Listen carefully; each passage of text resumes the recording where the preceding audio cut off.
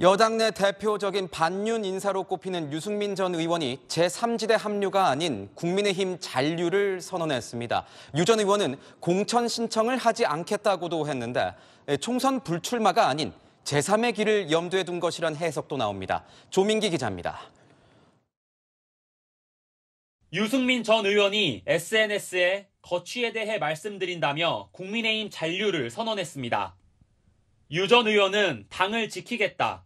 공천 신청은 하지 않는다고 밝혔습니다. 그러면서 이 당은 특정인의 사당이 아니라고 덧붙였습니다. 유 전 의원은 그동안 윤석열 대통령과 국민의힘 지도부에 대해 비판을 해왔습니다. 어, 내년 총선까지 당을 어, 좀 대통령으로부터 좀 이렇게 어, 거리를 두고 국회에서 야당과 협력을 하고 민심을 대통령 전달하고 그런 역할을 좀 제대로 해주길 바라는데 그렇게 잘할, 잘할 것 같지는 않네요. 이 때문에 유 전 의원이 국민의힘을 탈당하고 제3지대 합류나 신당 창당 가능성이 거론됐는데 거취를 분명히 한 겁니다.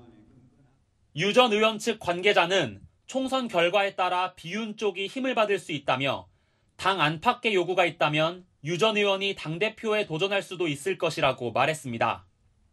국민의힘 일각에서는 한동훈 비상대책위원장이 유 전 의원과 손을 잡아야 한다는 목소리도 나옵니다.